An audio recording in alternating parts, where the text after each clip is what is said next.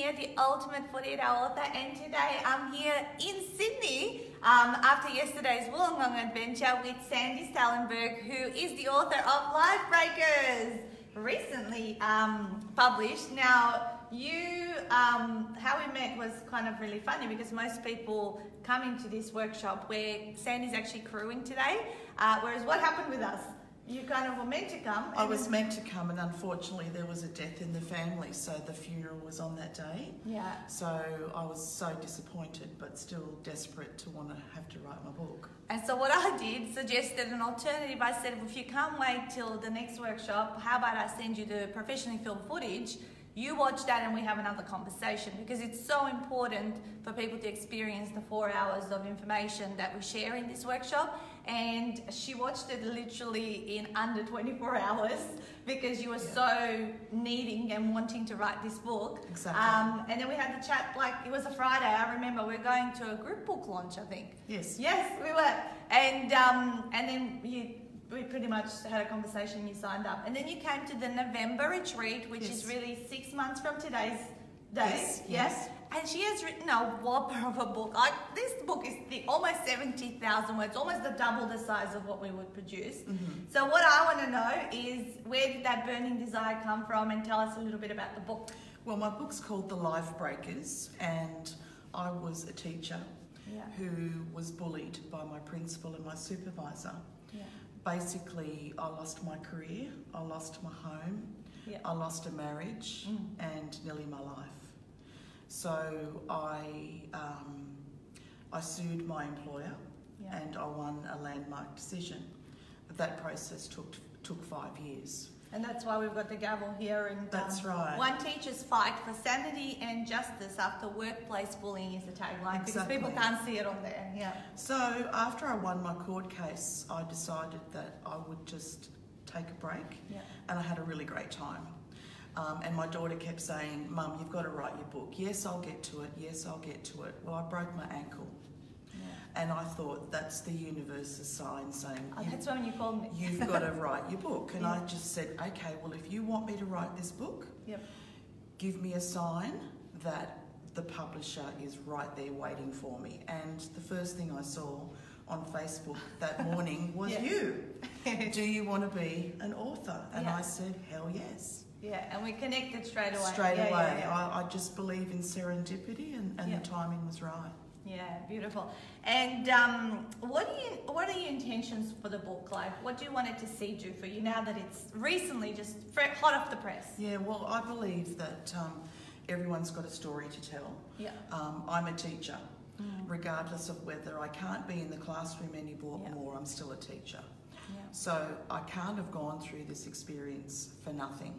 Yeah. How else can I teach but through um, writing books? Yeah. So this book is not just about my journey, it's also about my fight to come back to who I was. Yeah.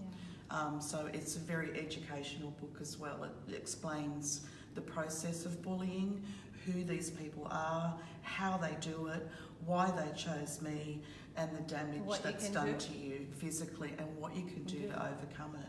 Yeah, uh, for your personal reasons and also other the legal stuff and the Yeah, system. Yeah, so yeah, yeah. my role now is an advocate for anti-bullying, particularly workplace bullying. Yep.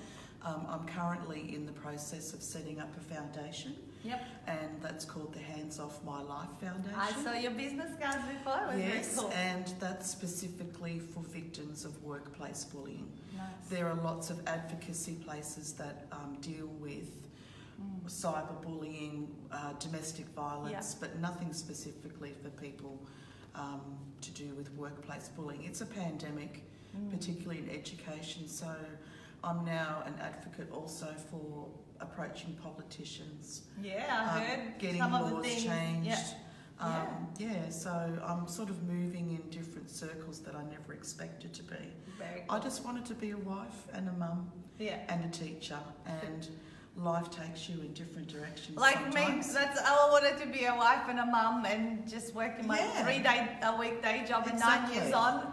it's this whole entrepreneurial journey. Tell me, a lot of people um, write their book either to help their business, but I think for you, was a healing experience because the other half of people we help is because they want to experience some sense of healing through what they've been through. Yeah. Uh, almost even end up having a bit of closure around it. Is that what was also part of the desire to get out? Exactly. Yeah. Um, I've got PTSD 3, Yeah. which is not legally or medically recognised. wow. Um, so the medical profession doesn't treat it as well as Yeah. it should because they don't recognise it. Wow. So I wanted to also teach people that if you get bullied, this is what happens to you. This is the permanent injury. So part of my healing, Healing. process is that I wanted to get this story out of me Yeah. so that I could help other people because a lot of people stay stuck in why me. Yeah. My first chapter's why me. Oh, and cool. I wanted to get to chapter 12. I don't want to be a survivor, I want to be a thriver. And at the end of the day, I'm a teacher Yeah. and I'll always be a teacher. yeah. And this is the only way that I can continue teaching. So tell me then, how was the process? Like, um, different people do it in different ways. I think you chose to type out your book. Uh, Oh, you didn't speak it out, No. which is how the system is, but that's okay because 30% will type and Yeah. 70% will verbalize. Oh, I, I, I think I had to recognise that, that I'm a writer Yep, and that I can only do it that way. yep, Um, but having an education background, do you think Mm. you're an expert in everything. yeah. You know a little bit about everything. yeah, But it wasn't until I saw your pro forma and that you've actually got a formula under structure. and a structure to Yeah. write the book. Once I saw that, I thought, ah, okay, Mm. aha, I'm okay. yes. And that's a really interesting way because I thought, oh, writing a book, writing a book. But a lot of people don't also realise that to go to a publishing place, any other publishing place, you've got to write your book and, And then, then- submit it. yeah, And it could be a three to five year process of getting knockbacks, knockbacks, knockbacks. yeah. I wasn't interested in any more knockbacks. Because when did this come out? Like four months after your retreat, or was it March? I started writing on the 26th of November, Yeah, so the day after I came home from Yeah. retreat, yeah. and I, it was with the editors by the 19th of. January. January. And then we were in, our hands probably about eight weeks later. Yeah. Yeah, no, that's Yeah. that's very good turnaround. I mean, you know, I always say it's usually three to four months after retreat, and, and as I said, you wrote actually a double, almost a a double, double. size.